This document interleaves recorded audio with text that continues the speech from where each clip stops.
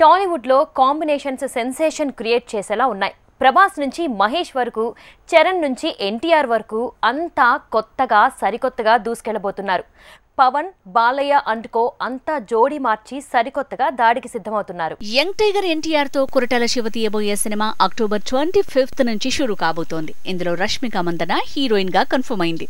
Official announcement రాబోతోంది. Pushpa good bye మూవీస్తో pan India గుర్తింపున్న తను యంగ్ టైగర్తో ఫస్ట్ టైం జోడీ కడుతోంది. సూపర్ స్టార్ మహేష్ బాబుతో బాలీవుడ్ హీరోయిన్ దీపికా పదుకునే జోడీ కడితే ఎలా ఉంటుంది? ప్రస్తుతానికి ఇది రాజమౌళి ఐడియా మాత్రమే. ఇది సాధ్యమో కాదో దసరాకు తేలుతుందట అప్పుడే మహేష్ జోడీని అనౌన్స్ చేయబోతోంది film team. Deepika Padukone already young rebel star ప్రభాస్తో జోడీ కట్టింది. ప్రాజెక్ట్కి అంటూ సైఫై మూవీ చేస్తోంది. ఒకవేళ మహేష్తో కూడా జోడీ కడితే మాత్రం ప్రభాస్ మూవీ తర్వాత ఇది తనకి రెండో తెలుగు ప్రాజెక్ట్ అవుతుంది. టాలీవుడ్లో ఇప్పుడు ఎటు చూసినా ఫ్రెష్ కాంబినేషన్సే. నటసింహం బాలయ్య కూడా ఫస్ట్ టైం శృతి హాసన్తో కలిసి ప్రయోగం చేస్తున్నాడు. గోపిచంద్ మరణేని మేకింగ్లో దుమ్ము దులిపే పనిలో ఉన్నాడు. క్రాక్తో కిక్కిచ్చిన శృతి హాసన్ ఒకవైపు బాలయ్యతో మరోవైపు సలార్ అంటూ ప్రభాస్తో జోడీ కట్టింది.